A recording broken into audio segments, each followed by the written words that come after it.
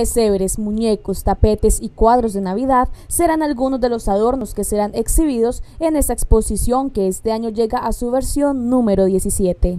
A partir del jueves tenemos la exposición navideña, eh, están todos cordialmente invitados, donde vamos a mostrar todo lo que hemos hecho este año con la tendencia de fin de año, ¿no? como es la Navidad y lo que nos mueve tanto.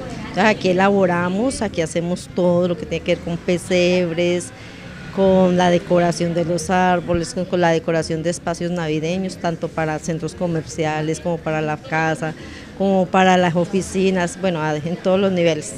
Todos los adornos que se exhibirán en esta muestra son realizados a mano porque todos son elaborados y hechos a mano, o sea, no son comprados, sino que cada persona, las que nos gusta este cuento, venimos y los elaboramos. Y entonces todo lleva tiempo y paciencia y gusto, entonces hay que dedicarle de verdad que muchas horas de trabajo. La exposición navideña iniciará el jueves 27 hasta el 30 de septiembre, desde las 10 de la mañana hasta las 7 de la noche. Ya después venimos a lo que es la capacitación como tal, porque hay seminarios, eh, hay muchos proyectos para hacer que tienen todo incluido, la gente se puede acercar, le damos toda la información, los valores, todo lo que hay. Están cordialmente invitados todos a nuestra exposición de arte y manualidad de la casona, la casa navideña, que cada año la sacamos, entonces hoy volvemos a retomarla y entonces los estoy esperando.